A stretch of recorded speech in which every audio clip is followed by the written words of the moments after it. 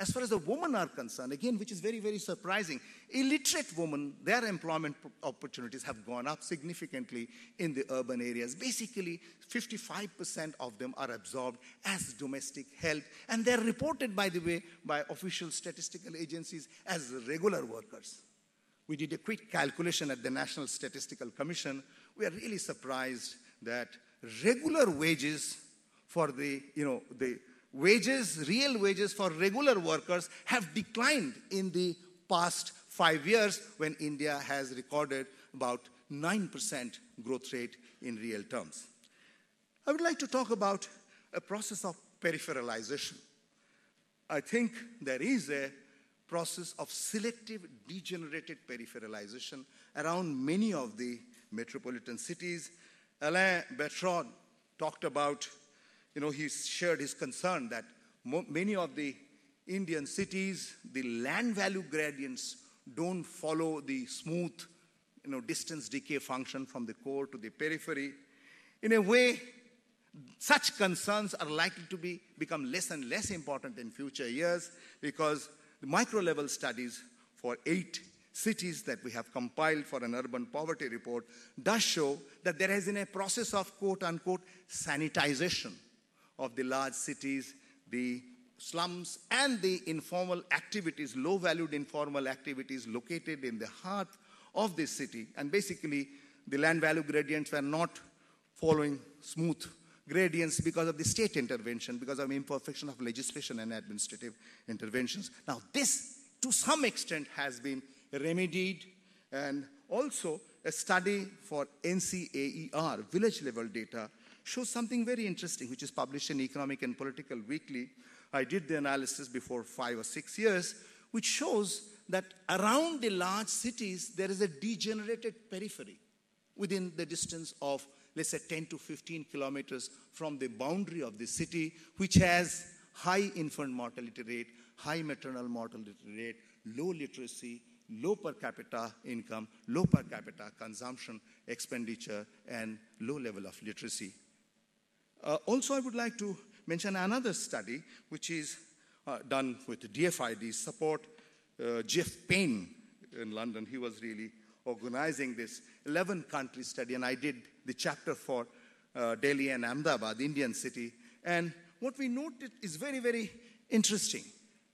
Uh, that uh, yeah, they, we noted that partial, you know, activation of the land market through reform in the land tenure system and strengthening of the legislation really results in breaking down of the informal agreements which the slum dwellers have entered into with the you know with the local slum leaders or council, municipal councillors or the officials and they get pushed out. And there is a process of uh, you know selective degenerated peripheralization, which has some negative significance, which has to be taken care of when you're talking about shining India. And indeed, the macro scenario in many of the large cities does give us this kind of a confidence of shining India. But the problem, the two problems I would like to conclude by referring to them, is that, you know, uh, linking of the cities with the global economy has certainly, on an average, improved the strength of the Uh, economy of the metropolitan cities and class one cities, and also has improved the quality of infrastructure and basic services. But the inequality has gone up, and the inequality within the city is basically linked with water supply and sanitation services.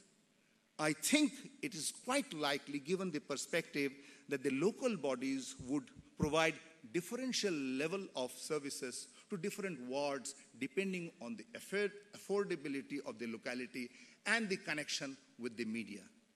Resident welfare associations have become very, very powerful in most of the metropolitan cities who are getting also support from civil society organizations, have been in a position to make an impact on efficiency. There is absolutely no doubt.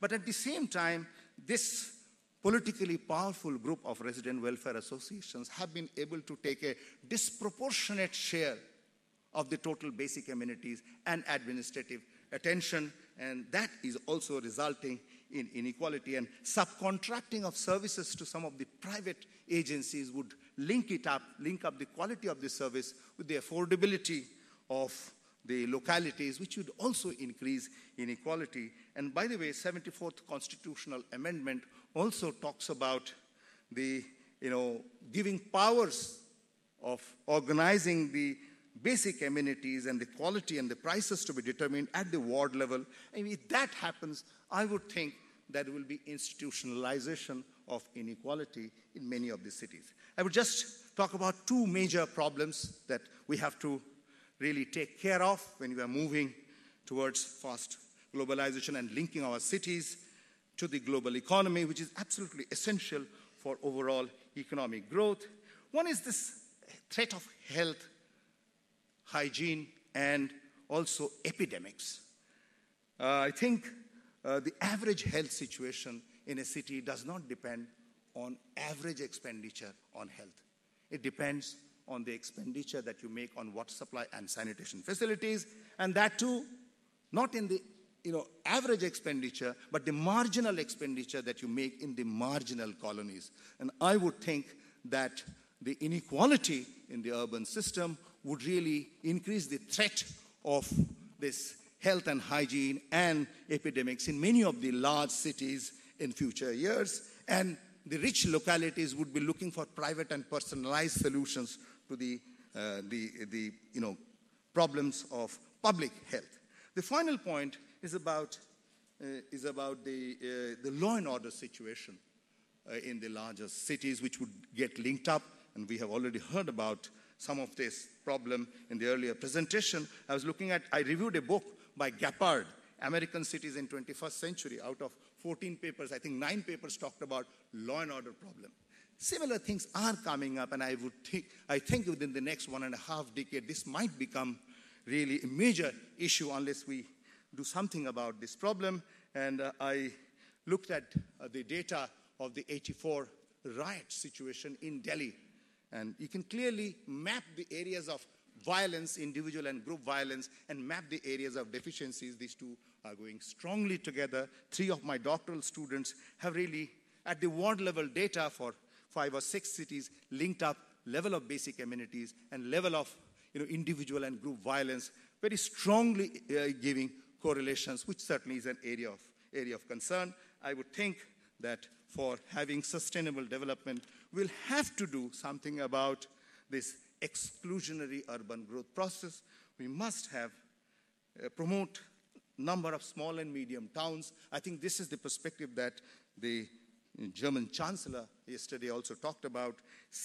Uh, you know, allowing large number of small and medium towns to absorb the migrants from the rural areas so that uh, so that you know they do not move towards the larger cities and also we'll have to stall the process of degenerated peripheralization and segmentation of the cities by basically taking the overall responsibility of providing the minimum level of services to all sections of the population by the public agencies, while involving the private agencies and the community for efficiency and accountability will be must.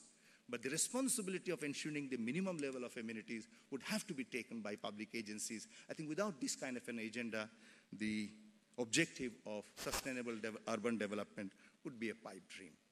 Thank you.